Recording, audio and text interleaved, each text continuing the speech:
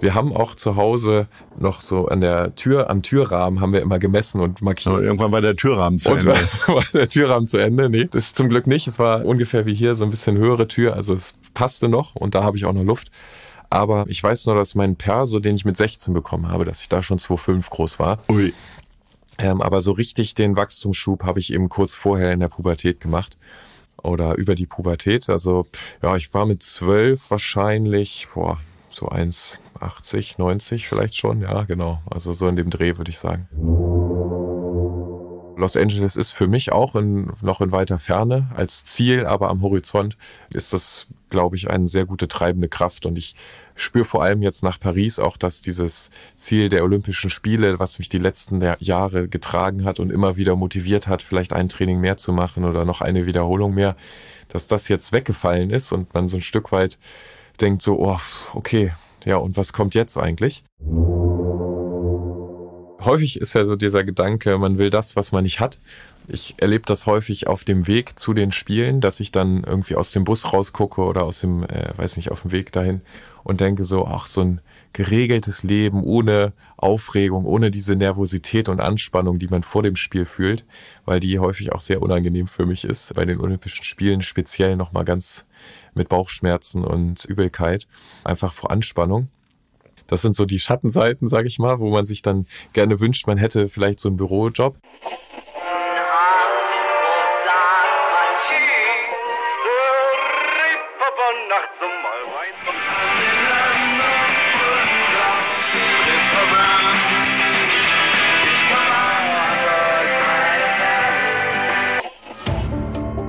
Gute Leute. Das Hamburg-Gespräch mit Lars Meier. Jetzt. Heute bei mir zu Gast ist Nils Ehlers. Moin, moin. Ja, moin.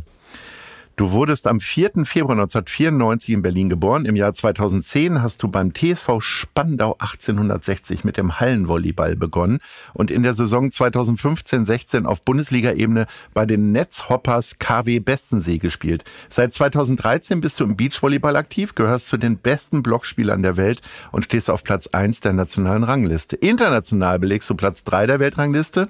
Gemeinsam mit Clemens Wickler hast du in diesem Jahr Silber bei den Olympischen Spielen In Paris geholt. Im August wurde dir außerdem Vize-Europameister. Dein Verein ist der ETV in Eimsbüttel und du lebst in Hamburg-Jenfeld. Silber bei den Olympischen Spielen in Paris. Herzlichen Glückwunsch dazu. Was ging dir im Moment der Siegerehrung durch den Kopf? Ja, ganz ehrlich, ich war sehr niedergeschlagen. Also das war noch direkt nach dem Finale auch. Wir waren sehr enttäuscht, weil wir nicht die Leistungen gebracht haben, die wir bringen wollten und waren dementsprechend ja sehr, sehr geknickt und niedergeschlagen. Ich weiß noch, wie wir danach das Interview auch gegeben hatten und gesagt hatten, dass wir ja wahrscheinlich das schlechteste Spiel der Saison bis dato im Finale abgeliefert hatten. Das war wahrscheinlich auch aufgrund der Emotionen ein bisschen zu negativ konnotiert, aber ja, im Endeffekt auf der auf dem Podium selbst, das war noch zu nah dran, ist man sehr sehr enttäuscht darüber, dass man das Finale verloren hat. Und wann kam das erste Mal Freude auf? Ja, das war gar nicht so einfach, weil wir auch direkt am nächsten Tag waren nochmal zwei, drei Pressetermine und dann ging es auch schon mit der Bahn nach Holland zur Europameisterschaft. Also die, das nächste Event stand direkt vor der Tür. Und danach waren wir hier in Hamburg die Woche und dann waren noch die deutschen Meisterschaften. Also wir hatten wirklich die vollen vier Wochen Turnierstress im Anschluss.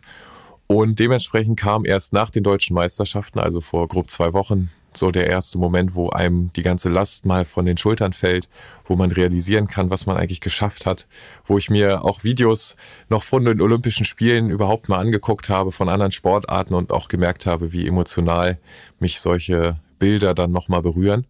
Und in dem Moment auch dann mit der Silbermedaille bei mir auf dem Regal stehend, realisiert man das dann immer mehr und auch da ja, also zu dem Zeitpunkt dann war ich auch sehr, sehr glücklich mit der Silbermedaille. Ich habe mal gehört von einem befreundeten Fußball-Bundesliga-Trainer, dass der bis zu 400 SMS bekommt, wenn er ein Bundesligaspiel gewonnen hat. Möglicherweise eher überraschend. Wie viel SMS hast du denn bekommen nach dem zweiten Platz bei den Olympischen Spielen? Ja, wahnsinnig viele auch. Ich habe nicht mitgezählt.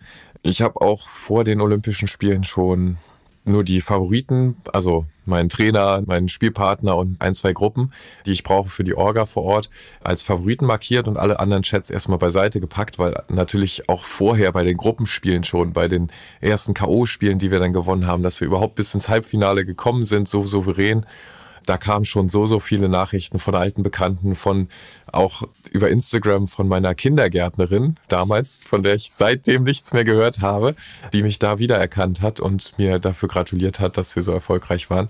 Also insofern wirklich auch sehr, sehr viele Nachrichten und auch sehr viele Glückwünsche und ja, tolle, tolle Nachrichten, die ich bekommen habe. Wie viele Kartenwünsche konntest du denn vermitteln fürs Finale? Ja, das war auch ein Thema. Das war klar vor den Spielen. Ich brauche jemand, der sich um die Tickets kümmert, weil natürlich viele Leute, gerade weil Paris nicht weit weg ist von Hamburg oder auch von Deutschland, ja, spontan, auch umso weiter wir gekommen sind, umso mehr Leute wollten dann spontan noch vorbeikommen. Und zum Glück hat das meine Verlobte komplett übernommen. Das heißt, die war auch die ganze Zeit im Austausch mit dem Verband, mit auch anderen Verbänden, um da Tickets noch kurzfristig organisieren zu können und ich konnte mich komplett auf den Sport fokussieren. Das war sehr wichtig. Wenn du in dem Moment so enttäuscht warst, dann habt ihr ja sicherlich euch das Spiel nochmal rauf und runter angeguckt und analysiert, woran es denn nun gelegen hat, dass es nur die Silbermedaille war. Woran hat es denn gelegen? War vielleicht auch tatsächlich einfach zu aufregend alles? Ja, genau. Ich wir haben uns das Spiel, oder ich habe es bis jetzt noch nicht nochmal angesehen. Äh, ich glaube auch, weil es mich emotional zu sehr runterzieht. Und genau, rein technisch, analytisch braucht man da gar nicht reingehen, weil ja, es geht im Endeffekt darum, um diese, diesen Spannungsverlust bei mir vor allem. Also nach dem Sieg des Halbfinals gegen den Team, gegen die Norweger, wo wir noch nie gewonnen hatten, der Spannungsverlust war für mich zu groß und auch dieser Druck im Finale dann alles leisten zu wollen und es besonders gut zu machen, das ist mir im Endeffekt auf die Füße gefallen und da braucht man gar nicht groß technisch, taktisch gucken, was wir falsch gemacht haben, sondern es war leider wirklich ein Steuerungsthema vom Kopf. Es war ja, glaube ich, auch schon in London so bei den Olympischen Spielen. Äh, jetzt in Paris auch wurde immer wieder über diese sensationelle Stimmung gesprochen im Beachvolleyballstadion, auch noch so toll gelegen unterhalb des Eiffelturms. Wie sehr hast du das tatsächlich mitbekommen? Oder ist man, also es gibt ja diesen berühmten Tunnel, in dem dann Sportler sind. Hast du diese Stimmung erst mitbekommen, weil dir alle irgendwie erzählt haben, was für eine Stimmung da war? Nee, wir waren schon, wir hatten uns zwei Tage vor dem ersten Spiel auch einschreiben können auf dem Center Court und durften da einmal trainieren, natürlich noch vor leeren Rängen. Aber allein da schon einmal auf diesen Court zu gehen, nach oben zu blicken, den Eiffelturm zu sehen, die Ringe auch direkt davor, die Olympischen Ringe, das hat direkt schon Gänsehaut ausgelöst. Und ähm, dann hatten wir auch unser erstes Gruppenspiel ausgerechnet gegen Frankreich. Das heißt, die Stimmung war maximal gegen uns und das ganze Stadion war gefüllt. Ich glaube, das war so ein bisschen der Sprung ins kalte Wasser, da aufzulaufen, die Buhrufe natürlich gegen einen zu verarbeiten. Aber ja, im Endeffekt ist man, wenn das Spiel dann losgeht, komplett im Tunnel und ruft das ab, was man jahrzehntelang trainiert hat. Ähm, aber genau, beim Einlaufen und auch wenn man dann gewonnen hat und dann einmal sich erlaubt, auch mal ins Publikum zu gucken, wer eigentlich wo sitzt, wo die Familie sitzt, dann spürt man das schon sehr, ja. Wir kommen von Paris nach Hamburg und wir sind bei deinen Lieblingen. Das ist unsere Schnellfragerunde. Insofern bitte ich um zügige Beantwortung. Welcher ist dein Lieblingspark? Mein Lieblingspark ist Planten und Blo. Welches ist dein Lieblingsrestaurant? Das Café bei uns an der Ecke, das Thermoli. Welches ist dein Lieblingsmuseum? Ja, Museum äh, zählt Miniaturwunderland. Unbedingt, ja. unbedingt. Ganz tolle Jungs, die beiden braunen Brüder. Welche ist deine Lieblingsstraße? Straße, würde ich sagen, lange Reihe.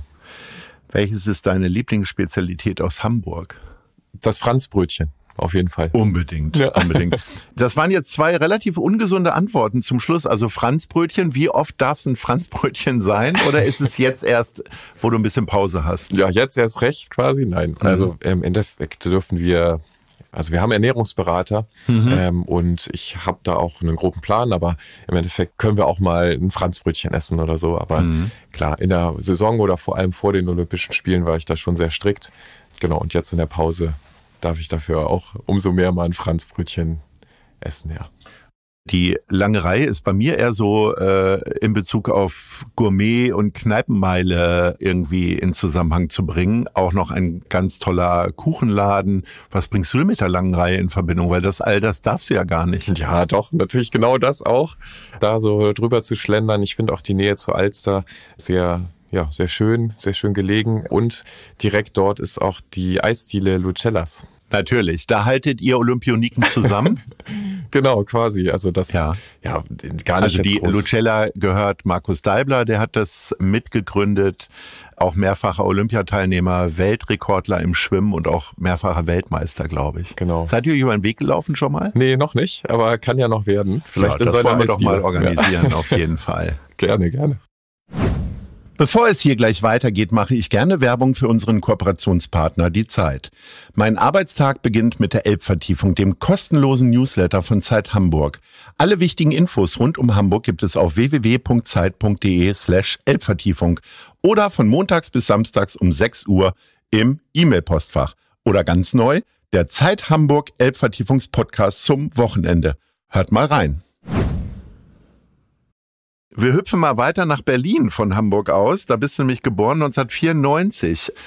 Wenn man dann irgendwann, ich sag mal so mit 12, 13 erzählt bekommt, was eigentlich kurz vor der Geburt in Berlin so alles passiert ist, hat man das Gefühl, dass man einiges verpasst, weil ich sag mal, für dich war das ja alles Normalität. Geteilte Stadt, wusstest gar nicht, was damit gemeint war, ne?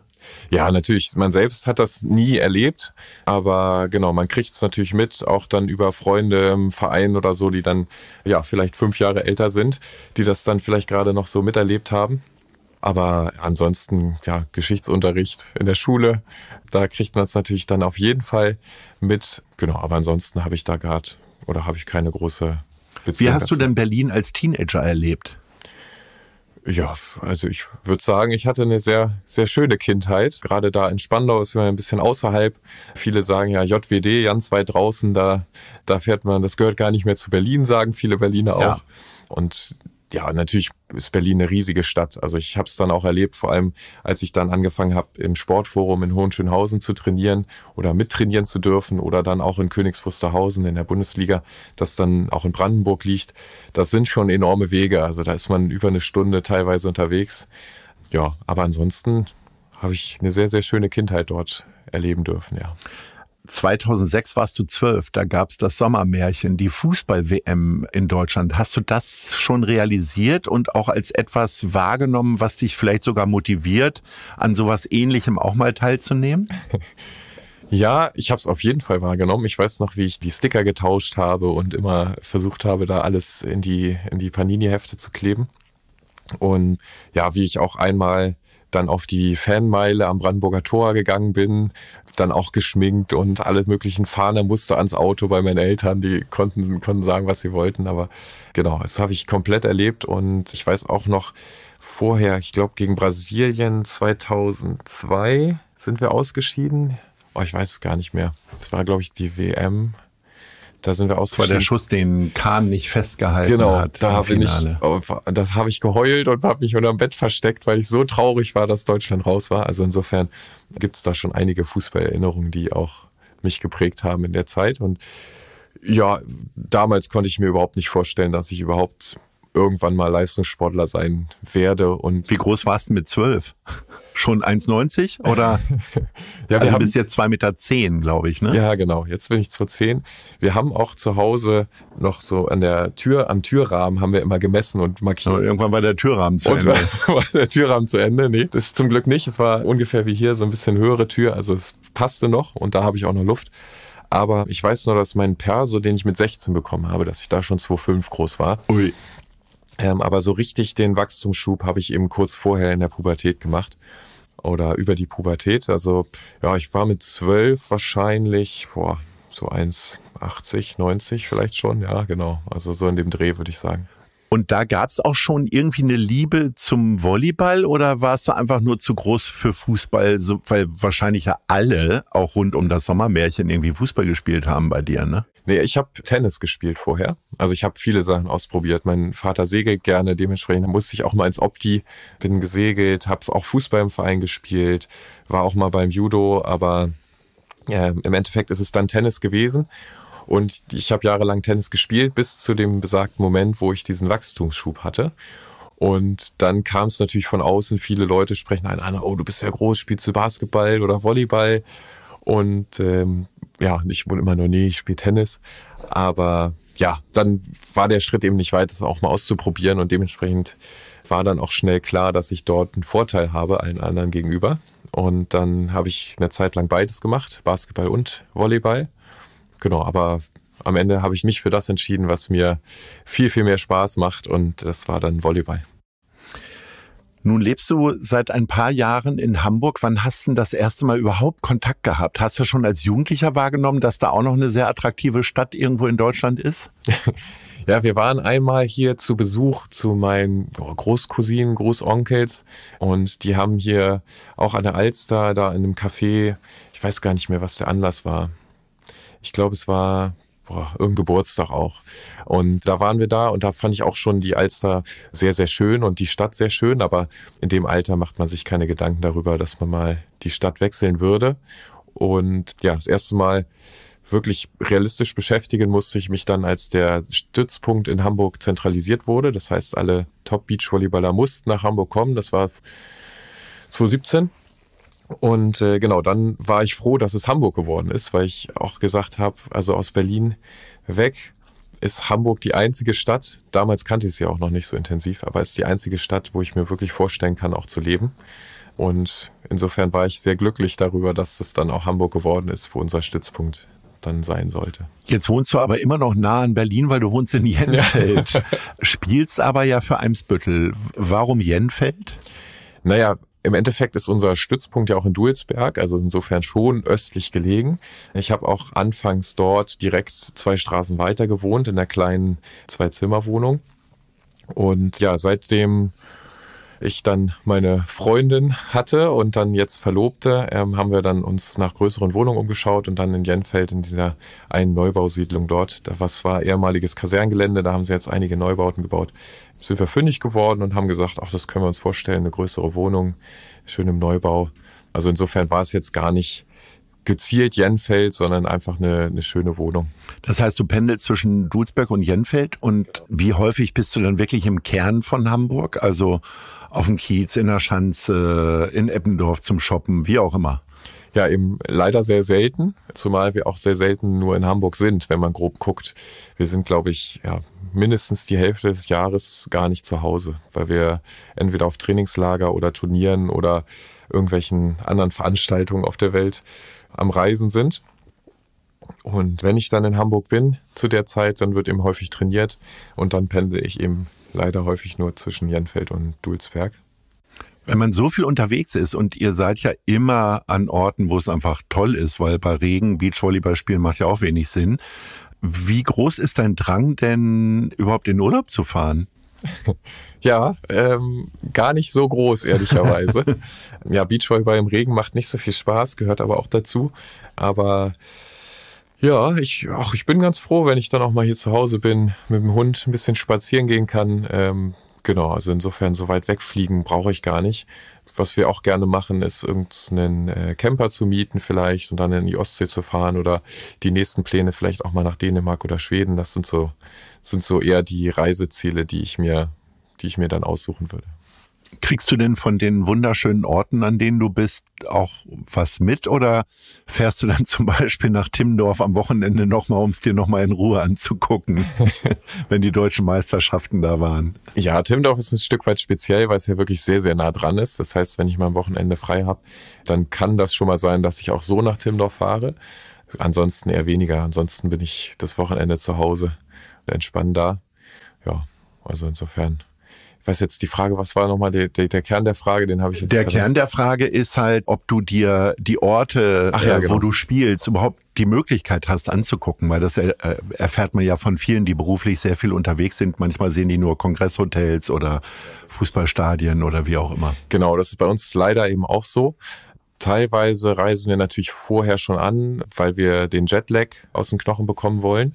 Und dann hat man vielleicht mal ein, zwei Tage mehr Zeit, wo man dann zwischen dem Training vielleicht mal ja, irgendwo hinfahren kann, sich eine Sehenswürdigkeit des Landes oder der Stadt, also des Landes nicht, aber der Stadt, wo man ist, anzugucken. Aber tatsächlich ist das einer der, ja, Punkte, die ich sehr schade finde, dass man häufig wenig Zeit hat, sondern eher auch dann am Hotel ankommt und dann nur zwischen den Courts und dem Venue und dem Hotel pendelt und wenn es dann vorbei ist, auch wieder relativ schnell zum nächsten Turnier weiterreist, ja. Du hast gerade das Wort Jetlag angesprochen. Wie ist denn das für dich mit Fliegen? Weil ich sag mal, die Sitzabstände werden immer kleiner, habe ich das Gefühl. Ich bin jetzt auch nicht ganz klein. Was ist denn so das beste Mittel überhaupt auch gegen Jetlag? Also nicht nur gegen enge Stühle, da musst du Business Class fliegen. Wahrscheinlich geht ja wahrscheinlich auch nicht immer, ne? Nee, das können wir uns nicht leisten. Nee, wir reisen immer Economy und ich vertraue häufig darauf, also entweder, wenn es nicht zu teuer ist, buche ich mir einen Notausgangsplatz, aber die sind häufig eben auch exorbitant teuer und dementsprechend setze ich dann häufig auf die Kulanz der ja, Flugbegleiter. Und ja, Tipp gegen Jetlag, also ja, ich habe da zum Glück gar nicht so große Probleme. Ich versuch, du schläfst auf den Flügen auch? Ich versuche. Ich kann weder im Zug noch im Flieger schlafen. Das ja. ist furchtbar. Ja, also es ist teilweise dann auch eher ein Dösen und kein richtiges Schlafen. Aber ähm, ich versuche mir immer schon die Uhr dann in die Zeitzone zu stellen, im Flug schon, wo ich dann bin und das so ein bisschen dementsprechend schon mal anzupassen. Also dann zu sagen, okay, jetzt ist gerade Mitternacht in Australien, da fliegen wir hin, also versuche ich jetzt zu schlafen und wenn es dann, ja, wenn es dann Tag ist dort, versuche ich wach zu bleiben und gucke dann ein paar Filme oder so. Aber ja, gut, im Endeffekt, wenn man dann ankommt, haut es einen trotzdem meistens aus den Socken. Jetzt spielst du für Eimsbüttel. Was weißt denn du über Eimsbüttel? Also, ich sag mal, wenn du trainierst in Dulsberg, dann hast du ja eigentlich gar nicht so richtig Bezug, außer vielleicht mal jetzt für eine Autogrammstunde in die Geschäftsstelle fahren, oder? Ja, tatsächlich eher weniger. Also wir sind genau für Autogrammstunden oder für Sportveranstaltungen da. Ich gucke auch gerne den Hallenvolleyballern mal zu. Äh, die spielen ja dort auch in der, mhm. in der Halle. Aber ansonsten mit der Stadt selbst, klar fährt man mal durch, war ich mal in der Kaifu Lodge, aber ja, das ist, ist natürlich irgendwo dann dadurch bedingt, dass wir eben sehr weit im Osten sind und Eimsbüttel eben im Westen. Da kommt man schon mal vorbei, aber ja klar, die Tiefen des Bezirks und die, die habe ich noch nicht ergründet, sage ich mal so. Wie sehr nimmst du denn Hamburg als Sportstadt wahr? Also zum einen, was das Angebot als Zuschauer ist, aber halt auch für dich als Sportler, Förderungsmöglichkeiten, Training, Trainingsmöglichkeiten und so weiter. Ja, also für uns sind die tatsächlich ideal im Beachvolleyball. Also wir haben einen zentralen Stützpunkt, wir haben da Courts, also sehr, sehr viele Felder in Dulsberg, da im Beach Hamburg. Wir haben den Olympiastützpunkt direkt dran und die Active City, auch mit Andy Grote, die sind ja sehr daran interessiert, auch Beachvolleyball-Events immer nach Hamburg zu holen. Also insofern sind wir da ein Stück weit ja sehr glücklich drüber und privilegiert. Ja, und ansonsten sehe ich auch häufig, wenn ich durch die Stadt laufe, mal Active City Stände. Ich wurde auch eingeladen hier zum Radeln in der Europapassage. Genau, solche Events kriegt man natürlich immer mit. Auf dem Heiligen Geistfeld wurde vor kurzem auch für King of the Court einen Platz aufgeschüttet. Also insofern wird da schon für unsere Sportart einiges getan, um ein Stück weit Reichweite zu generieren.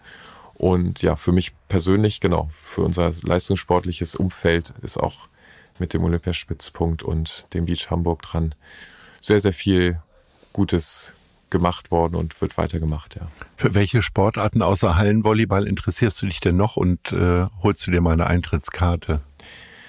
Ja, also ich bin jetzt auch bei den Towers am Wochenende. Natürlich, mhm. für, ich werde auch geehrt. Ja, das ist nochmal ein positiver Beigeschmack. Aber ich war auch so vorher schon häufiger bei den Towers mal, genau bei den Hallenvolleyballern.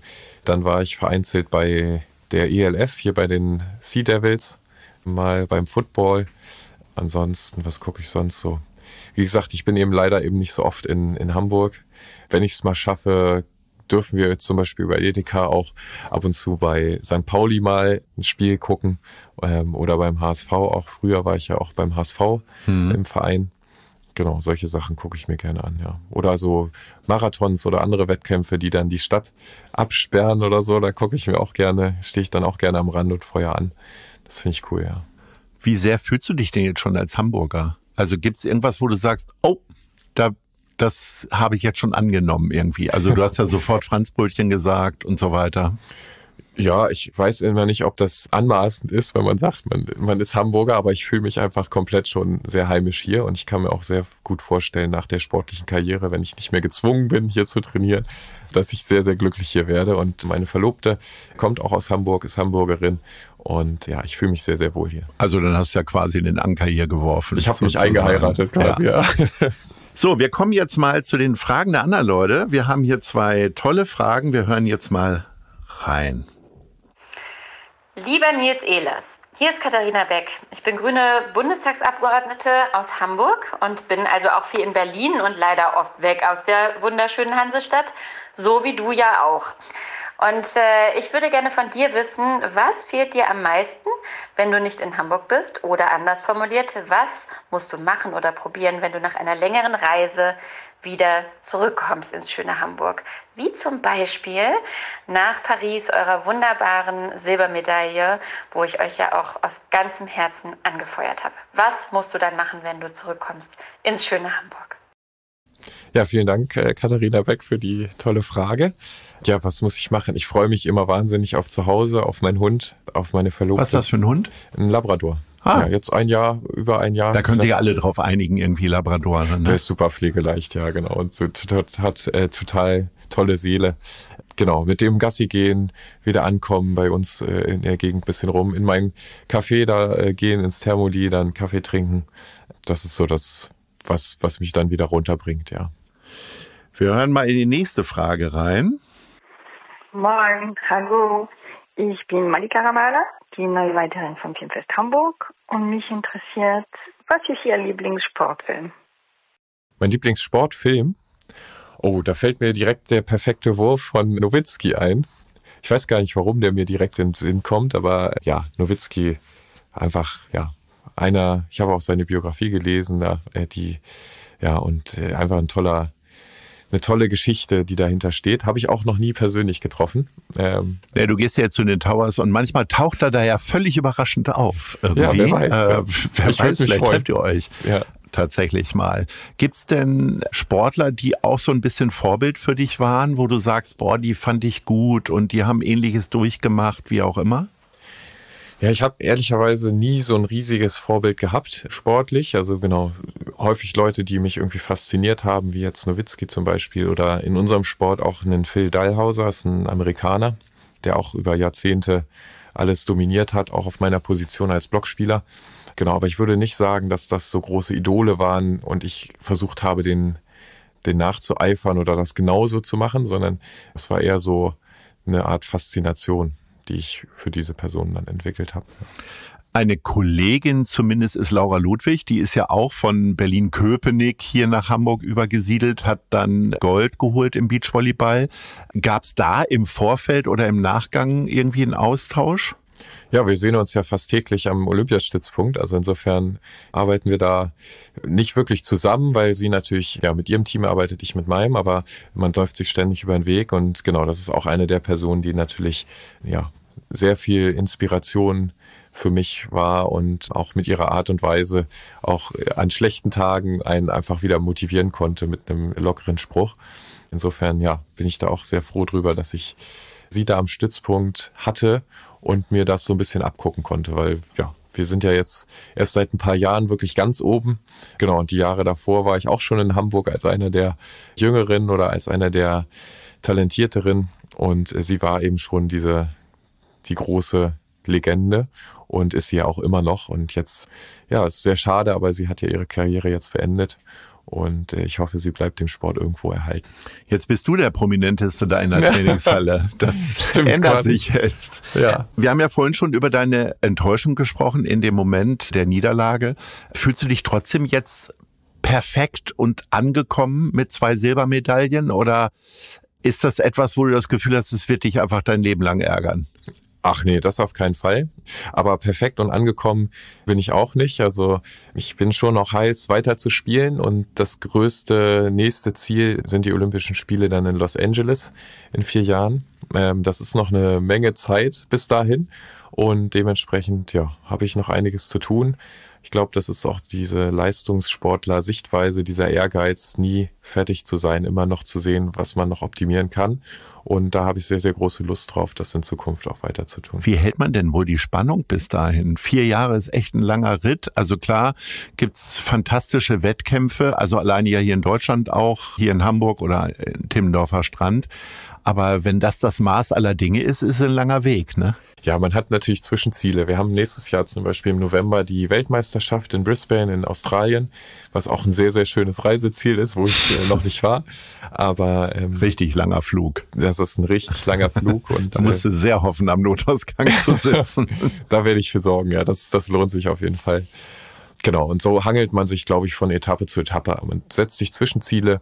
Los Angeles ist für mich auch in, noch in weiter Ferne als Ziel, aber am Horizont ist das, glaube ich, eine sehr gute treibende Kraft. Und ich spüre vor allem jetzt nach Paris auch, dass dieses Ziel der Olympischen Spiele, was mich die letzten Jahre getragen hat und immer wieder motiviert hat, vielleicht ein Training mehr zu machen oder noch eine Wiederholung mehr, dass das jetzt weggefallen ist und man so ein Stück weit denkt so, oh, okay, ja, und was kommt jetzt eigentlich? Aber im nächsten Moment, wie gesagt, das nächste ferne Ziel am Horizont mit Los Angeles steht schon parat und die Zwischenziele, auf die freue ich mich auch sehr. Nach all der Freude musst du dir auch finanzielle Sorgen machen, diese vier Jahre zu überbrücken. Das hört man ja immer wieder, gerade von Sportlerinnen und Sportlern, die fast ausschließlich eine Präsenz bekommen durch die Olympischen Spiele. Wie sicher ist da denn jetzt eigentlich deine Existenz? Ja, da habe ich äh, sehr großes Glück, dass ich einen der Sportförderplätze bekommen habe über die Bundeswehr. Und das sichert auf jeden Fall das Grundeinkommen ab. Ist natürlich immer so ein bisschen vage, weil man immer nur für ein Jahr verlängert wird. Das heißt, es ist ein Stück weit Risiko. Gehört aber im Leistungssport irgendwo dazu, natürlich, weil wenn man keine Leistung mehr bringt, dann äh, ist man eben auch raus. Es gibt natürlich dann auch nachaktive Förderung und so weiter. Also es ist jetzt nicht so, dass man komplett fallen gelassen wird. Aber darüber ist meine Grundabsicherung da. Und jetzt hoffe ich natürlich auch mit der Silbermedaille ein, zwei Sponsoren mehr anzusprechen. Und wir haben ja auch große Sponsoren aktuell schon. Da bin ich sehr, sehr dankbar für, dass die uns unterstützen. Und ja, insofern muss ich mir finanziell für die vier Jahre keine Sorgen machen. Du hast ja vorhin schon angesprochen, du hast mit Tennis angefangen, hast zwischendurch Basketball gespielt. Gerade wenn man bei Basketball auf die Summen guckt, die Dennis Schröder da verhandelt, wie oft kommt so der Moment, dass du sagst, ich habe die gleiche Anstrengung, ich habe den gleichen Trainingsstress, warum kann ich nicht 100.000 Euro mehr kriegen? Ja, ich habe oft, äh, wenn ich dann NBA gucke oder dann auch jetzt die Basketballer bei Olympischen Spielen, sind wir auf der, bei der Eröffnungsfeier auf einem äh, Schiff gewesen und so, dann denkt man schon manchmal so, hätte ich das auch geschafft, weil die Körpergröße, die bringe ich ja mit. Und ja, ich denke dann im nächsten Moment auch, ich bin sehr, sehr glücklich, dass ich mich für Volleyball entschieden habe, weil das ist das, ja, für das mein Herz schlägt und ähm, was mir immer viel mehr Freude bereitet hat. Ja, und im Endeffekt ist es Spekulation, ob ich es hier in die NBA geschafft hätte. Da spielen auch so viel Glücksfaktoren eine Rolle, eine Verletzung oder auch Gunst von Managern und so weiter.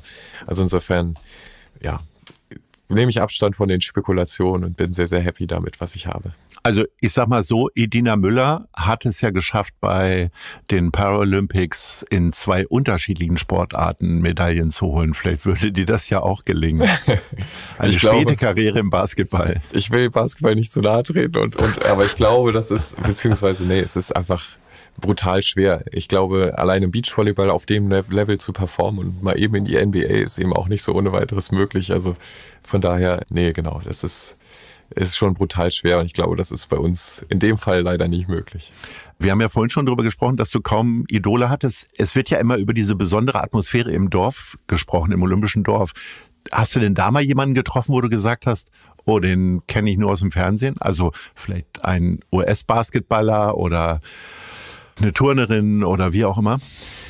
Ja, also nach der Eröffnungsfeier zum Beispiel waren wir mit äh, Zverev dann Abendessen. Das war ganz äh, witzig. Also insofern, ja, ist das einer der großen Namen und einer, ja, wo ich sage, okay, das ist eine Besonderheit bei Olympischen Spielen. Mhm. Aber die ganz großen amerikanischen, hier das Dream Team und so, da hofft man natürlich immer drauf oder eine Simone Biles, dass man. Die wohnen in Wahrheit dann doch im Hotel, oder? Äh, weiß ich nicht. Ich glaube, ja, ich glaube, das Dream Team hat sich auch ein Stück weit abgeschottet, weil ich habe auch Geschichten gehört, irgendwie von den letzten Spielen noch, wo der Nadal durchs, durch den Essenssaal gelaufen ist und eigentlich keinen Meter gehen konnte, weil alle Sportler eben auch ein Foto mit ihm wollten. Und ähm, das ist natürlich dann für die Sportler auch irgendwo ein Stück weit belastend. Und ich glaube, im Endeffekt spielen sie auch oder sind sie auch im Wettkampf und wollen Topleistung bringen. Und dann kann ich schon verstehen, wenn man sich dann in ein Hotel zurückziehen möchte, ja.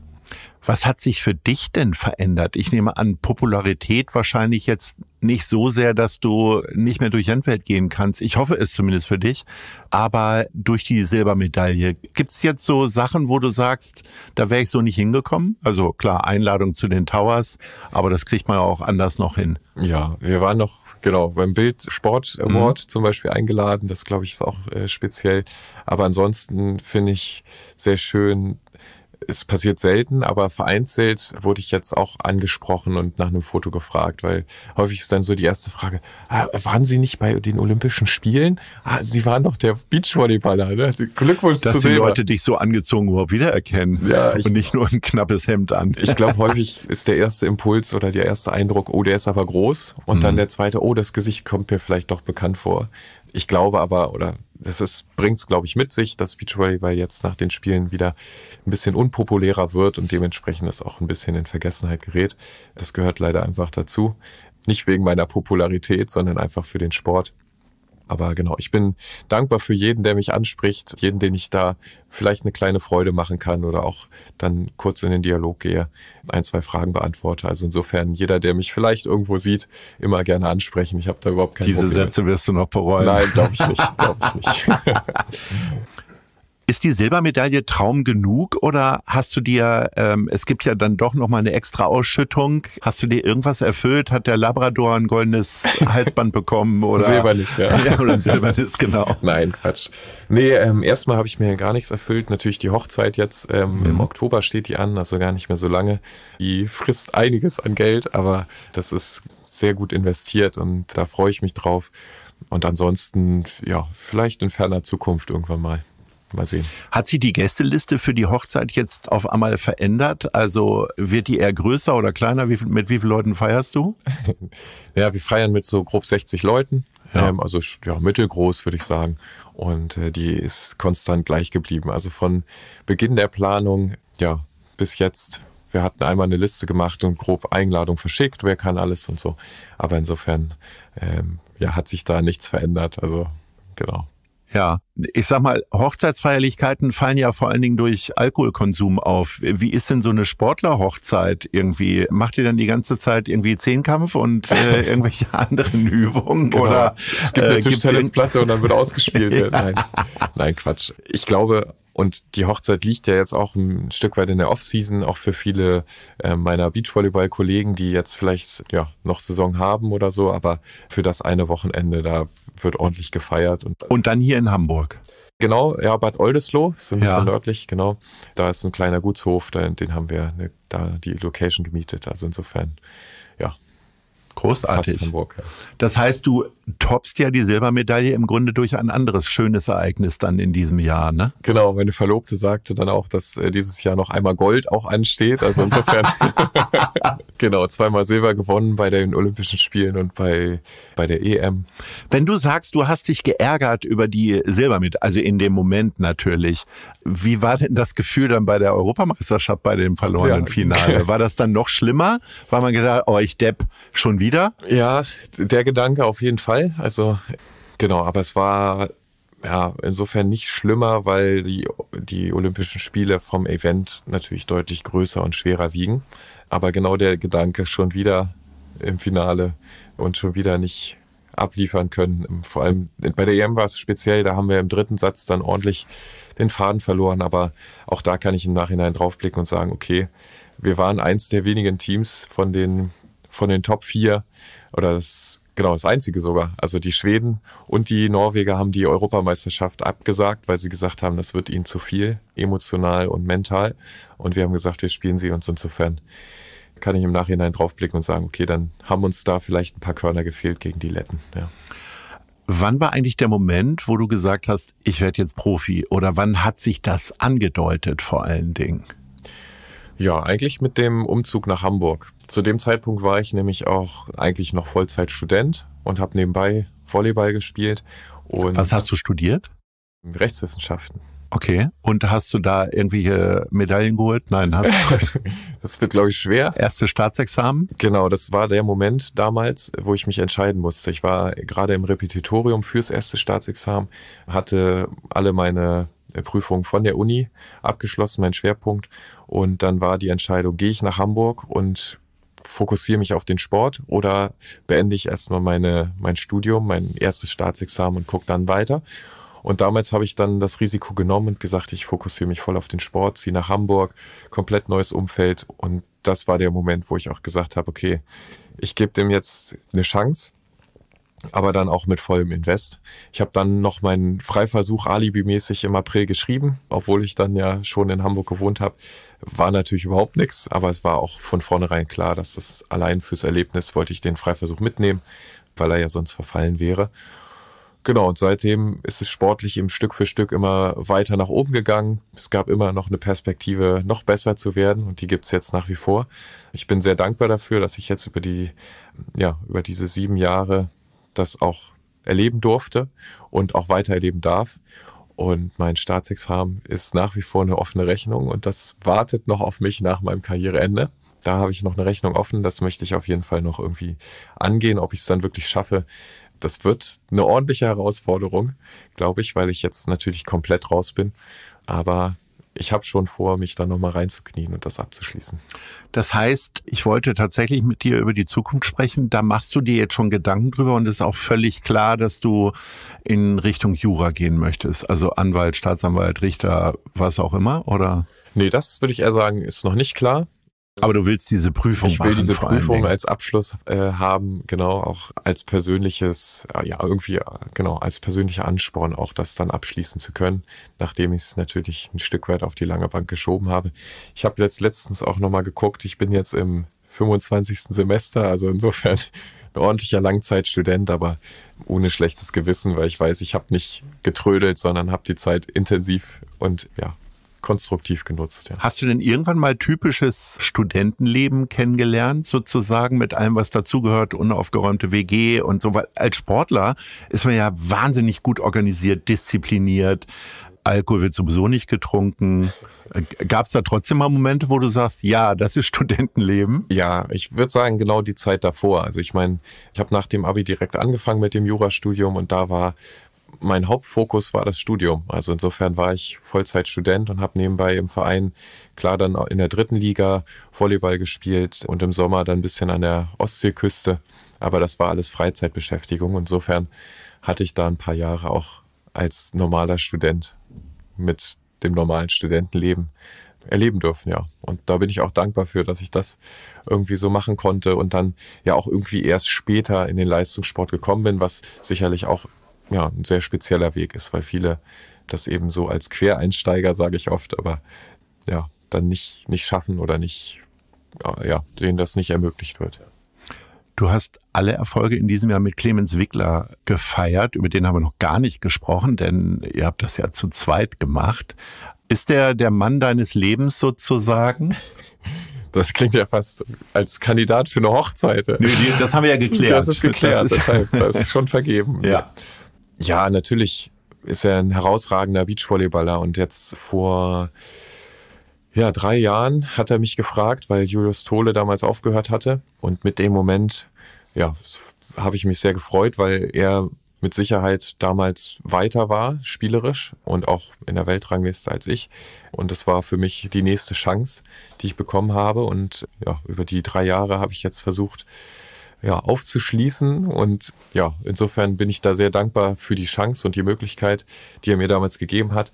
Und ich bin auch stolz darauf, was wir jetzt gemeinsam erreicht haben, weil auch er ist weiter besser geworden, auch unser, durch unseren Trainer Thomas Kaczmarek, der seitdem uns betreut, haben wir einfach nochmal ein, eine ordentliche Schippe draufpacken können. Und äh, ich glaube, vor drei Jahren hätte uns niemand so weit oben in der Weltrangliste gesehen, tatsächlich. Ja. Hast du denn die vermeintlichen Niederlagen in den Finals dieses Jahr eher mit dir alleine ausgemacht oder gibt's dann auch mal Streitereien und gesagt, was hast du denn da gemacht oder wie auch immer? Knirscht es dann mal? Mm, in solchen Situationen nicht. Da ist jeder für sich und sehr enttäuscht. Genau, aber ja, es gibt sicherlich auch mal Situationen, wo man sich mal ein bisschen ja, weniger gern hat, sage ich mal. Aber was uns da auszeichnet, ist, dass wir da sehr offen sind, solche Themen immer direkt ansprechen und dann, ja, wenn nötig, auch im Team gemeinsam besprechen. Also, und das kommt sehr, sehr selten vor, ehrlicherweise. Ja, also insofern, ja, sind wir da ein sehr, sehr gutes Team und verstehen uns auch abseits des Sports sehr gut. Also zum Beispiel war er bei meinem Junggesellenabschied jetzt auch dabei.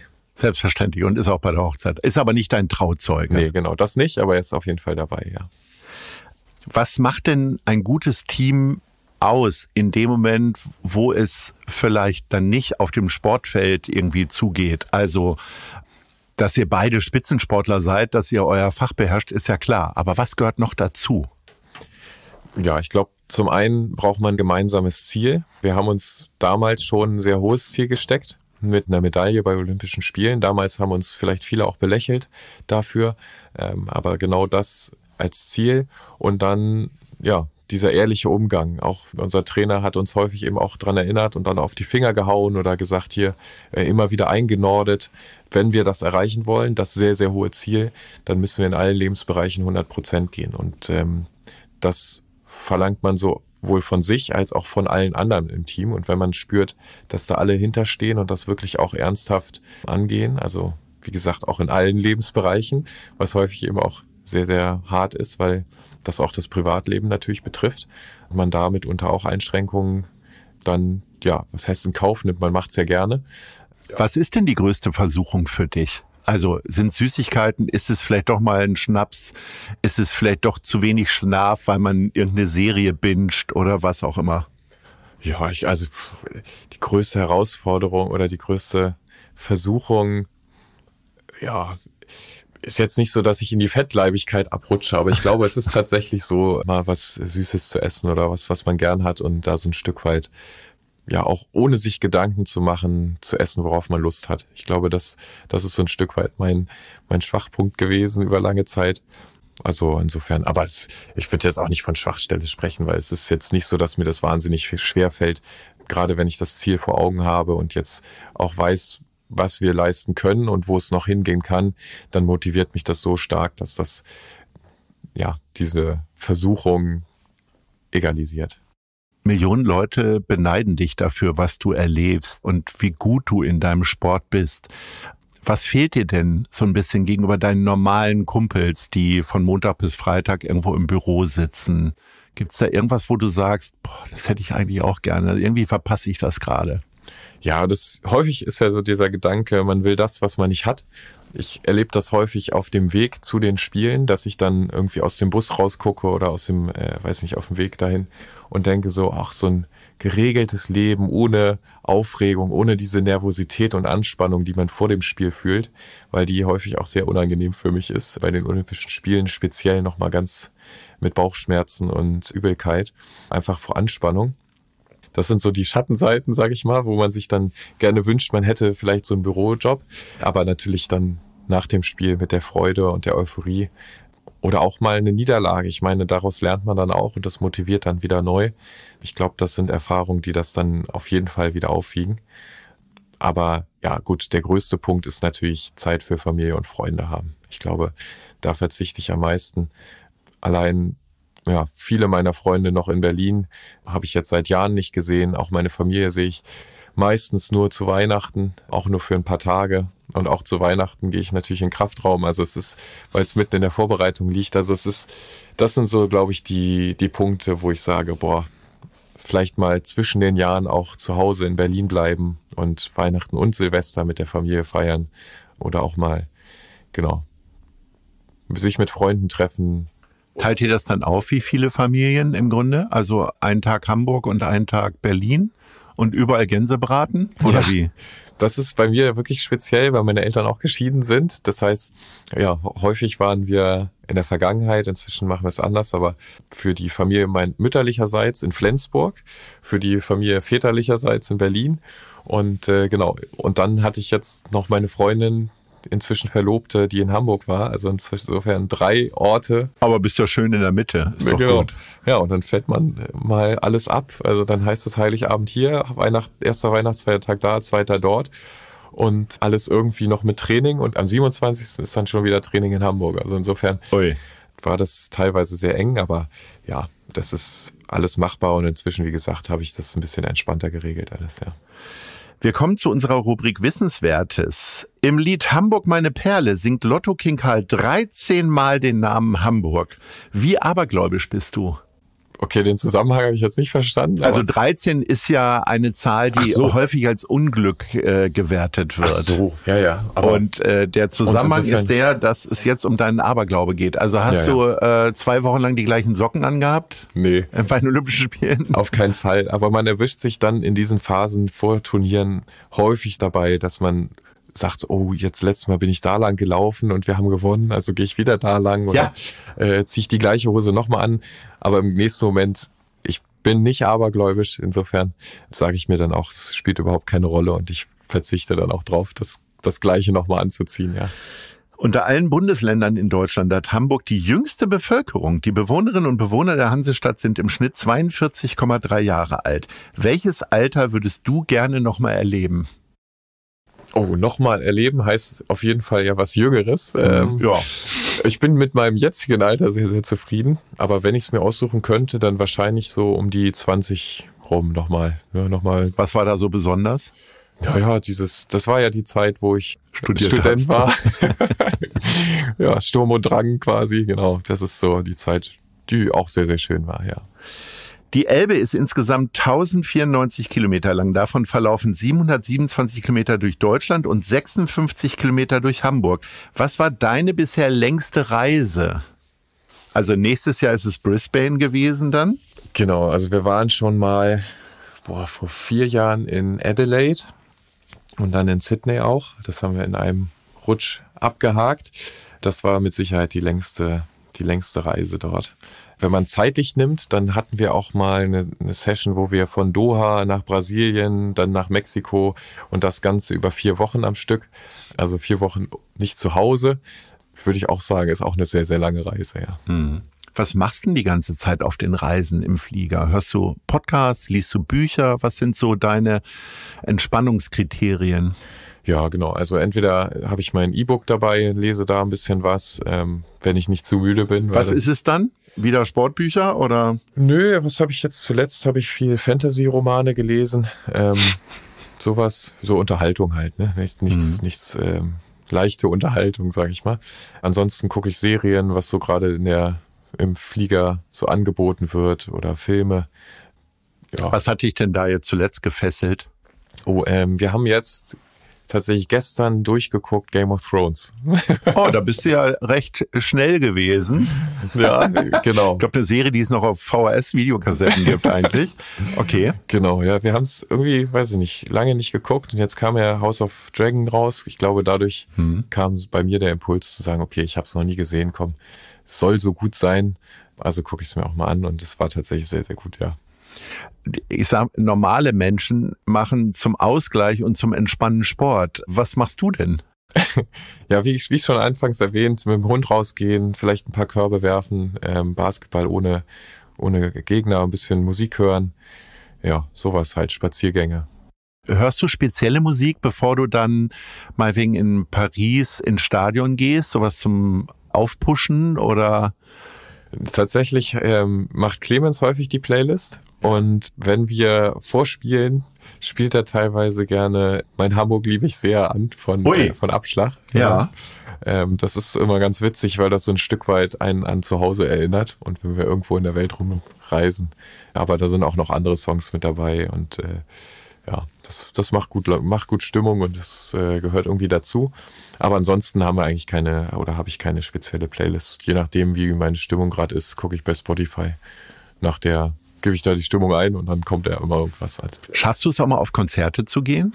Ja, leider nicht so wirklich, nee. Aber ich bin auch nicht der Konzertgänger. Ich stehst ja auch jedem im Weg immer, ne? Das, das ist, ist das Problem. Doof, ne? Das ist mir häufig unangenehm. Dann steht man da und irgendwie tanzt man und hinter einem sehen weiß nicht, sehen die Leute immer nichts.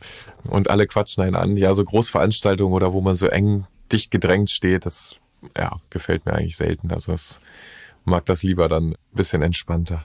Nils, wir sind schon am Ende. Das ging ja schneller vorbei als ein olympisches Finale im Beachvolleyball. Jetzt habe ich noch zwei Fragen. Die muss jeder beantworten, auch du. Wo siehst du dich in fünf Jahren? Ja, in fünf Jahren dann in der Bibliothek beim Lernen fürs Staatsexamen vielleicht. Mit Goldmedaille um Hals. Ja, hoffentlich. Ja. Ist das das ausgesprochene Ziel jetzt schon, weil es gar nicht anders geht? Ja, also äh, wegen der Bronzemedaille will man da ja jetzt nicht noch vier Jahre abwarten, oder? oh, ich glaube, natürlich das große Ziel ist jetzt eine Goldmedaille zu holen, aber ich glaube, was viel schöner ist, ist der Weg dorthin. Also immer weiter am Leistungsmaximum zu arbeiten und was dann am Ende bei rauskommt, ist egal. Wo siehst du Hamburg in fünf Jahren? Ja, in fünf Jahren weiß ich hoffentlich, dass wir die Olympischen Spiele 2040 mit Berlin zusammen ausrichten. Das würde mich sehr freuen. Ja, und ansonsten weiß ich gar nicht, wo sehe ich Hamburg bis dahin. Ich hoffe weiterhin als die schöne Stadt, die sie bisher ist. Sehr schön. Nils Ehlers, Silbermedaillengewinner. Und das hat uns alle wahnsinnig stolz gemacht und dich hoffentlich irgendwann auch. Mein Lieber, vielen Dank für diese eine Stunde. Nils Ehlers, herzlichen Dank und Ahoi. Vielen, vielen Dank. Das war gute Leute. Das Hamburg-Gespräch mit Lars Meier. Von der Gute-Leute-Fabrik, der Szene Hamburg und dem Zeitverlag. Folgt dem Hamburg-Gespräch als Podcast auf allen bekannten Streaming-Plattformen. Jeden zweiten Montag neu.